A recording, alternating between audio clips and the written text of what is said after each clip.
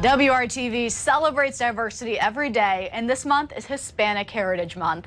So we're taking a closer look at the Mexican consulate in Indiana and the unique way the new head of the consulate is making a difference for the Hispanic community. At the corner of Lord and Southeast Street, the Mexican flag waves high above the consulate. Step inside and you'll meet the new head of the consulate, Maki Teramoto. Spanish comes easy to her, and so does the spirit of her country. What we call mi casa es su casa, that's true. Mexico City was home. Yes, I was born there, I was raised there.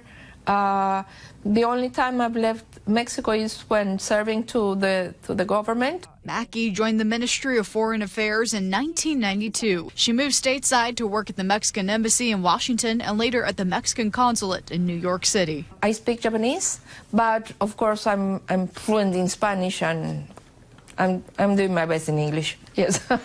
Welcome. Ah, thank you very much. A Hoosier since July 16th, she brings humor and humility as a trailblazer in her position. The main difference I, I'm, I, I feel I'm making is that I'm the first uh, female officer from the government of Mexico as head of the consulate. Her roots remain grounded We have the Angel of Independence. as she embraces making a change. Women can do anything. The office of the Indiana consulate is just 20 years old. Maki covers Indiana, Kentucky, and part of Ohio. We are only five uh, members of the Mexican Foreign Service, but we cover 241 counties in the tri state area. It's a role she bases on community connection. On Mexican Independence Day, you can catch her putting a face to the community and dancing with Hispanic Hoosiers. But her work goes beyond the dance floor.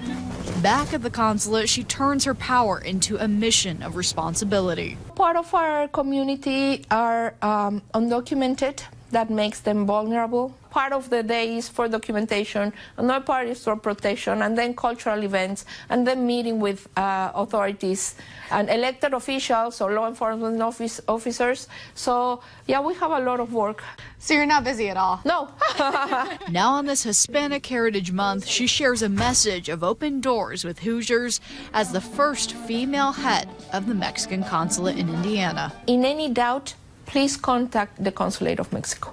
We are the ones who can provide you with the proper and the direct information that you need. According to Foreign Service law, Maki says the head of the consulate usually serves four to five years. Now her plan is to visit Kentucky next.